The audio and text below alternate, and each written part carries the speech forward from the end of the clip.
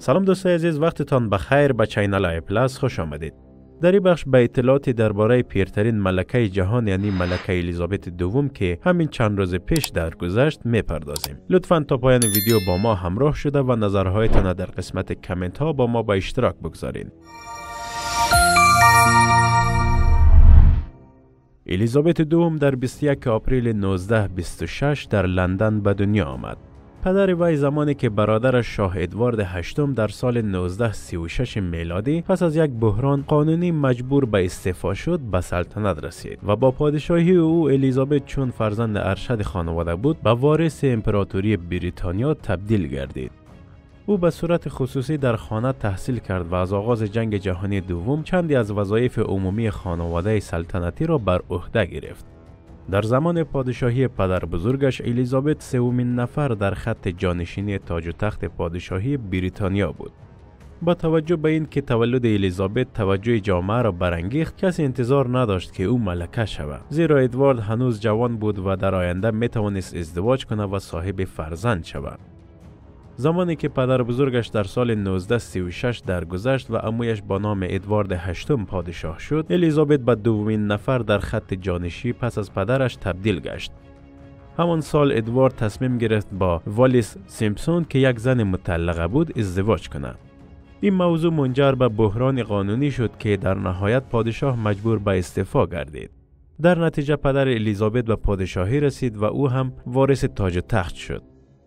به دلیل قانون حق اولویت نخستین ذکور در صورتی که پدر و مادرش صاحب فرزند پسری می شدند آن پسر به وارث بلافصل بدل می شد و در خط جانشینی بالاتر از الیزابت قرار می گرفت در سپتامبر 1939 بریتانیا وارد جنگ جهانی دوم شد و لورد هیلشام پیشنهاد کرد که الیزابت و خواهرش مارگارت برای دور بودن از بمباران پیاپی لندن به کانادا منتقل شوند. اما با مخالفت شدید مادرشان روبرو شد. در نهایت آنها را به قلعه بالموران در اسکاتلند بردند و سپس در چند قلعه مختلف جابجا شدند. در سال 1943 الیزابت برای اولین بار به تنهایی در انظار عمومی ظاهر شد. بعد از آن که الیزابت 18 ساله شد پارلمان بریتانیا قوانین را تغییر داد تا او بتانه در زمان ناتوانی یا غیبت پدرش مانند زمان حضور شاه در ایتالیا در سال 1944 به عنوان یکی از پنج مشاور دولت عمل کند شاه دخت الیزابت در سال 1947 به اولین تور فرادریایی خود سفر کرد و در بازدید از جنوب افریقا همراه والدین خود بود.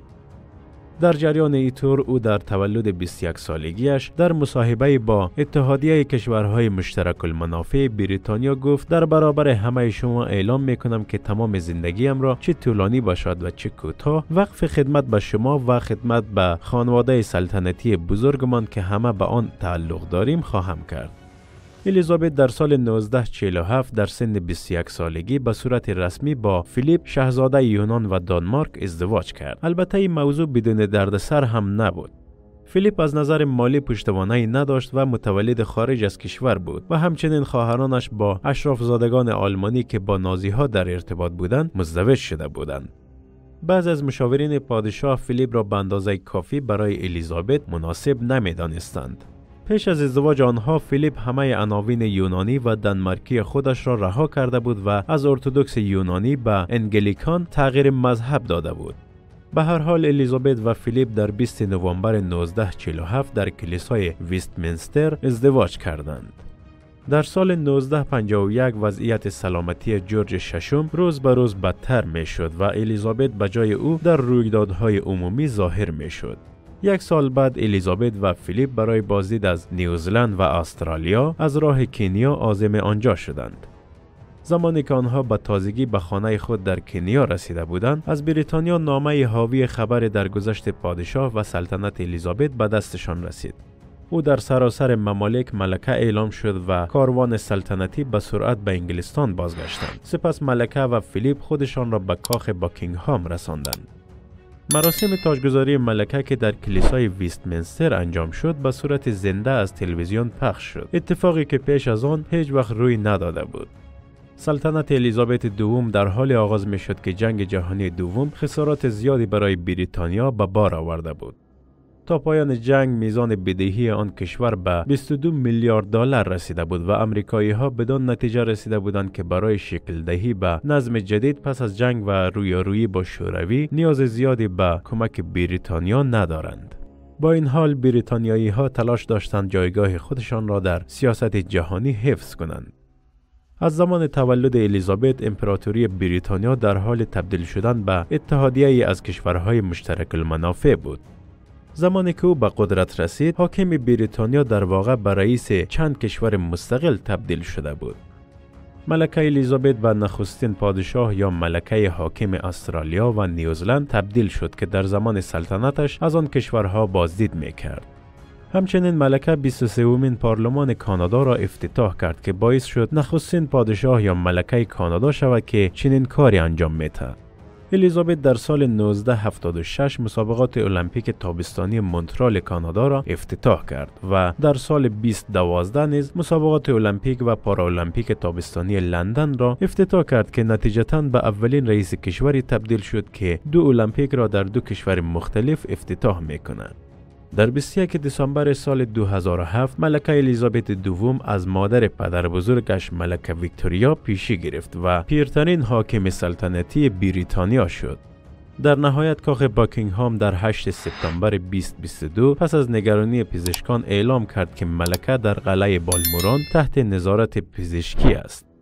چهار فرزند ملکه به همراه عروسها و نوههایش شاهزاده ویلیام و شاهزاده هری به بالموران رفتند. مرگ او عصر همان روز تایید شد.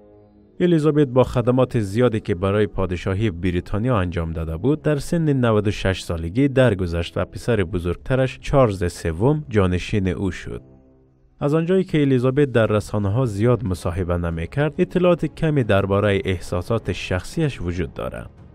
به عنوان یک حاکم مشروطه او نظرات سیاسی خودش را در ملاقات های عمومی ابراز نمی کرد. او عمیقا مذهبی بود و به وظایف مدنیش اهمیت می‌داد و عهدنامه تاجگذاری خود را زیر پا نمی گذاشت. گفتن است که الیزابت پشتیبان 600 سازمان و خیریه بود. در مورد میزان ثروت شخصی الیزابت دوم ملکه بریتانیا سالها حدس گمان زده شده است ولی در سال 2011 میزان دارایی ملکه بریتانیا با 300 میلیون پوند ثبت شده بود و در رده 257 ثروتمند بریتانیا قرار گرفته بود. ملکه بریتانیا چهار فرزند به نامهای چارلز سوم، شاه دخت آنه و شاهزاده آندرو و شاهزاده ادوارد دارند.